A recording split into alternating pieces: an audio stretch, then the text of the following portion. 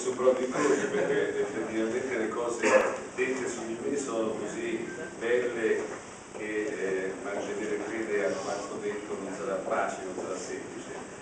E comunque io voglio eh, cominciare con dire due o tre cose, intanto perché mi sono candidato, eh, è stato già detto sia da, eh, da Susanna che da loro due, io sostanzialmente mi sono candidato perché sono stato spinto a questo da molti amici, da molti ragazzi e, eh, e ho accettato. In verità ho accettato proprio all'ultimo istante, eh, questa storia l'ho raccontata già in altre occasioni, ma ho, ho accettato perché proprio mentre tornavo a casa un paio di cittadini eh, mi hanno proprio fermato, tra l'altro uno che, eh, scusate, è un aneddoto, ma insomma è una cosa vera, anzi sembra un aneddoto ma è una cosa vera. Eh, ti ricordi Paolo che eh, in circoscrizione a un certo punto è venuto un, un signore che mi ha detto eh, ti denuncio. No, è sempre quello, però è sempre vero. No, no, no, no, no è l'altro questo ma perché mi denunci? Preso a sassare, io. Dice sì, l'altra sera ero per il viale, eh, una macchina sollevava un sasso, passando normalmente in mezzo alle cure del viale, e mi ha preso sulla spalla, ho sfiorato. Ho pensato subito a te e al fatto che il viale non è stato messo a posto. Beh, questa persona, eh, appunto, venerdì dell'altra settimana, proprio mentre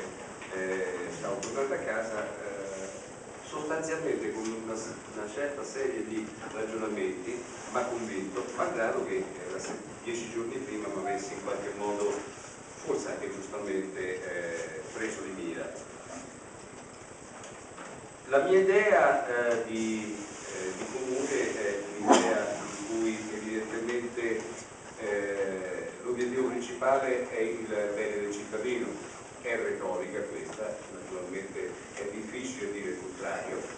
eh, però ci credo profondamente, ci credo profondamente e credo che eh, nel momento in cui noi riuscissimo, e spero proprio di riuscirci a costruire una giunta eh, capace, libera, libera da eh, legami e eh,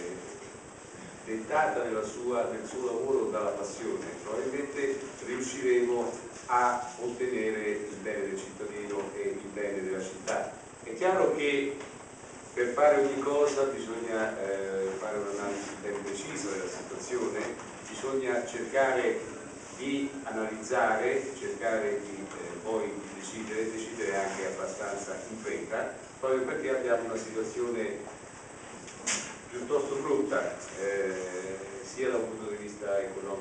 economico-finanziario eh, sia eh, da un punto di vista eh, sociale e quindi è chiaro che bisogna agire e agire eh, in fretta.